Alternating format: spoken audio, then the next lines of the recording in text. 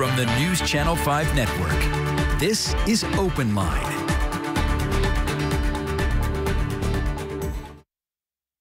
Hello, everyone. Welcome to Open Line. Glad you're with us tonight. We are talking about homelessness and a bill that was just passed in the legislature that has been it's been come to be known as the bill that would criminalize homelessness. We're going to talk about that bill, talk about its impact, and happy to have with us a full house. This is the most people we've had on this show since the pandemic. We have three people. So I want to thank everybody for being here. We have Lindsey Krinks. She is the co-founder of Open Table Nashville. Um, India Pungarcher, right? Well done. And thank you. And Kayla Philips. And Kayla, you are impacted um, in a very specific way by this bill, and we'll talk about that. But Lindsey, let me start with you. Just, okay, so what we're talking about is Senate Bill 1610, House Bill 0978. Um, it, it, it, came to be known as the bill that would criminalize homelessness. Mm -hmm. Tell me, what does this bill do specifically? So the first part of this bill makes certain kinds of camping on interstate um, kind of berms or right-of-ways a Class C misdemeanor. But what is incredibly problematic about this bill is that the second part of the bill makes sleeping and camping on any kind of public property across the state a Class E felony.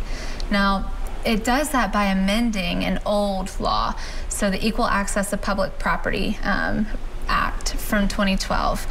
And um, a Class E felony, if you want to understand the impact of that, you can get up to six years in prison, a $3,000 fine, and the loss of voting rights just for sleeping or camping on public property. So it's an incredibly harmful bill, incredibly misguided in its approach to addressing homelessness. And this has passed, is that right? This has passed in the House and Senate, and it's now sitting on Governor Lee's desk for him to sign. And what, what there's a big push to try and get him not to sign it, Huge right? Huge push, uh, yes. Talk about that. So we've joined with a lot of other statewide groups like the ACLU, the National Association of Social Workers, and other mental health groups, um, and over 300 faith leaders and faith communities and dozens of nonprofits to try to get Governor Lee to veto this bill. We feel like it's very misguided. It does nothing to um, end or solve homelessness. It just further perpetuates homelessness by giving people you know, charges that it's very hard to get out of. When you have a felony, it's very difficult to get employment and housing. So this really just prolongs homelessness and exacerbates it. And before I move on, just so we understand, okay, so what you're talking about, there are two parts to the bill. Is there a part of this bill that would make it illegal to, I guess, panhandle in the sense of going up to a car and trying to get money on a on an interstate off ramp. Is that part Originally of this bill? Originally it was. So last year when they tried to pass this bill, we were able to defeat it. Um, and last year there was a part about soliciting. This year it's been amended. So that part has been taken out. And we're really thankful for that because it would have impacted contributor vendors and others. So um, that's a small good thing, but this bill is still incredibly problematic. Kayla, uh, tell me a little bit about your story. How how how might this bill, how would this bill impact you?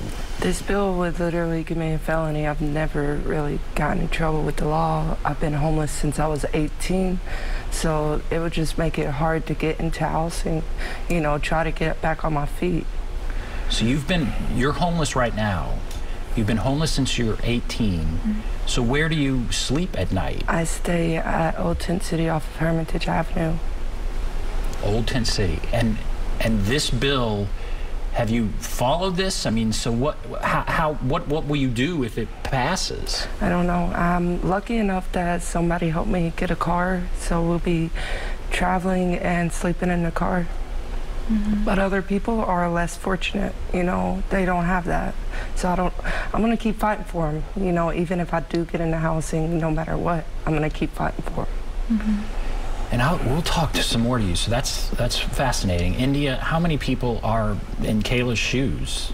Uh, that's a great question. Um, the only really reliable um, or regular number we have is from the pit count each year, so this point in time count where outreach workers and volunteers go out every year on one single night to count how many people are experiencing homelessness um, across the country. But um, over the past few years, um, we don't have the numbers from 2022 yet, but there's consistently been just under 3,000 people experiencing homelessness on any given night in Nashville. Um, but we're trying to push uh, communities to look at that number a little bit differently because, again, we know that that's how many people are experiencing homelessness on one single night. But homelessness is an experience that people transition in and out of. So maybe someone's outdoors one night on the night of the count, but maybe they're not. Maybe they scraped together enough money to get a hotel room. Maybe they're in an emergency shelter one night. Maybe they're couch surfing one night. And so a few years ago, uh, Open Table uh, put together an estimate that said a more accurate picture is that there's about 20,000 people that experience homelessness in Nashville over the course of a year. So we feel like that's a much better estimate um, and a better number to have in mind when we're trying to think about how many people are experiencing homelessness. And Kayla, I think people are fascinated to hear from you. I mean, because there are all these things we hear, you know, homelessness is because of this or that. And I don't know how comfortable you are sharing your situation. Mm-hmm. Don't do anything you don't want to do. But what if somebody says, "Why are you why are you in this situation?" What what what do you say? Me and my fiance, we always call it unforeseen circumstances. He's been homeless since he was 8. He ran away.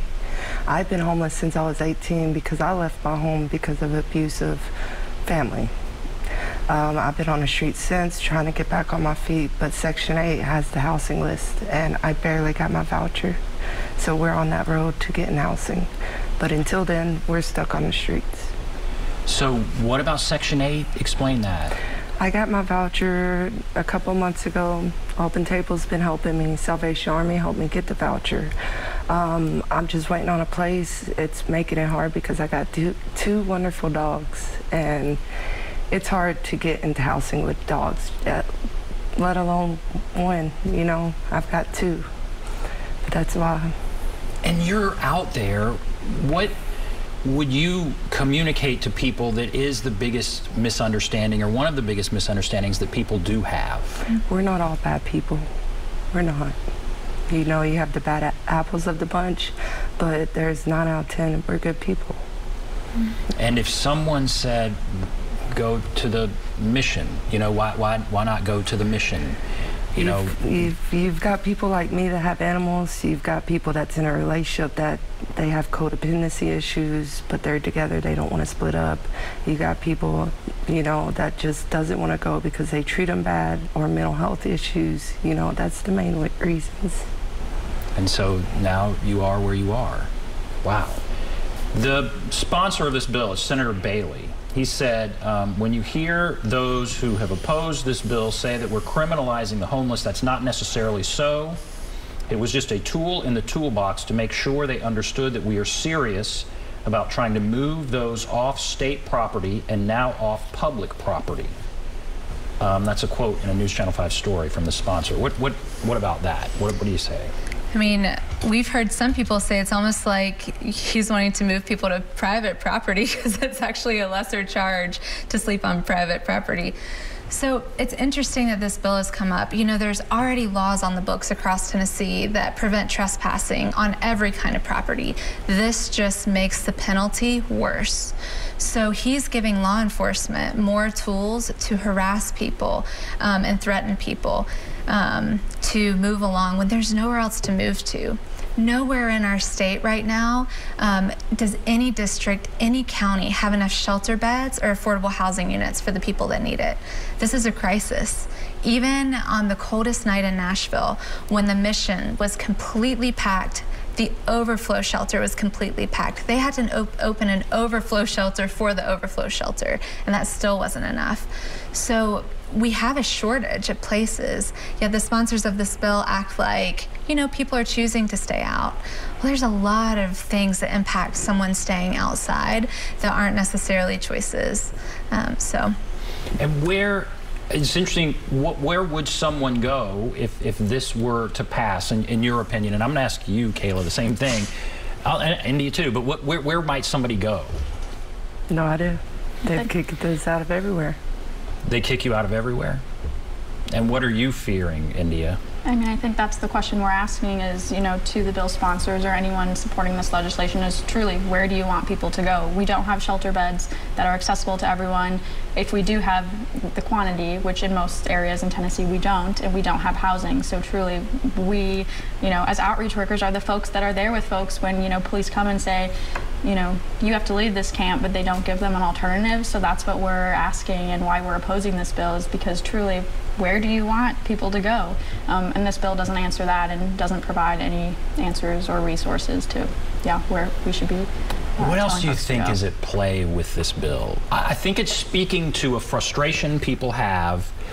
They're uncomfortable when they drive and they see um, homeless people uh, under a bridge. It's it makes them uncomfortable. And and so, what do you think's going on with this bill, and what what needs to be done? You know, this bill, the story behind this bill is that Cookeville tried to pass a very similar ordinance at the city level in 2020. 2020 was the year of the pandemic when we saw outdoor homelessness explode across the state and the country because of the economic downturn and because people had to leave shelters as they were distancing and um, trying to figure out what was going on. So there's visible homelessness everywhere. Cookeville people cried out about the bill and they said this isn't just, it's not constitutional, they shut it down. So Cookeville, um, the folks there gave it to their council member, Ryan Williams, who partnered with Paul Bailey in the Senate. And they said, we couldn't get this done at a city level, get it done at a state level. And so this bill is coming from a very misguided understanding about the causes of homelessness and the solutions to homelessness. We know what ends homelessness. It's affordable housing, it's support services, it's dedicated outreach that builds trust with people and helps them put the pieces back together and opens doors for their futures with them.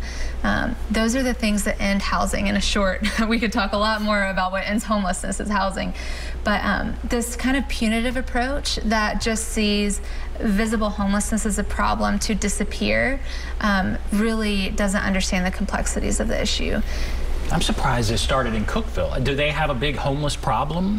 It's grown. The visible homelessness has grown, and you know we've had we have affordable housing crisis situations across the state of Tennessee. Um, this is a policy issue, right? Ever since the 80s, we've been defunding housing on a federal level, um, and we certainly haven't done enough at a state level or city level either to keep up with the demand. Um, so. Wow. All right, we're going to take a break, and that kind of sets the table for our discussion. What do you think? Um, happy to have you weigh in. There is the number 615 737 plus 615 737 7587. We'll take a break. Be back right after this.